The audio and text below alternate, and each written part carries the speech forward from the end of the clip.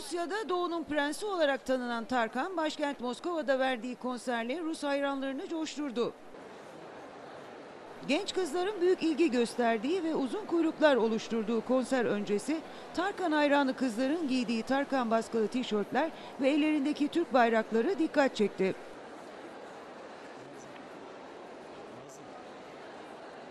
Tarkan Rusya'daki konser turnesinin son ayağı olan Moskova'daki Krokus City Hall Fuar Merkezi'ndeki konser salonunda yaklaşık 4000 kişiye eski ve yeni parçalarını seslendirdi.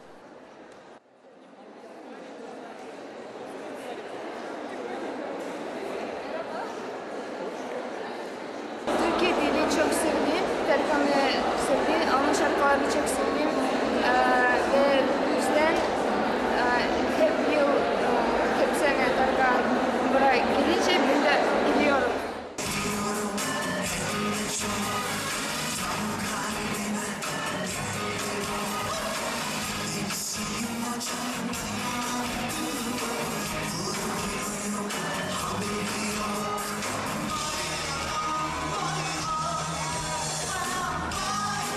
18 Kasım'da Rusya'nın Yekaterinburg, 20 Kasım'da St. Petersburg kentinde konser veren Tarkan, Rusya turnesini cumartesi Moskova konseriyle tamamladı.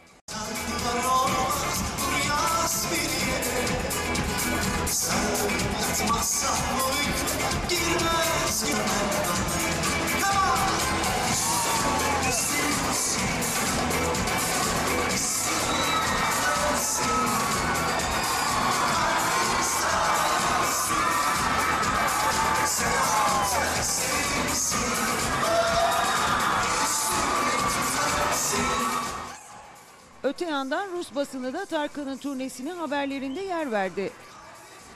Haberlerde şarkılarında Güney'in denizi, güneşi ve gizemli şark dünyası saklı bulunan ünlü popçunun Rusya'da çok sevilen bir sanatçı olduğu vurgulandı.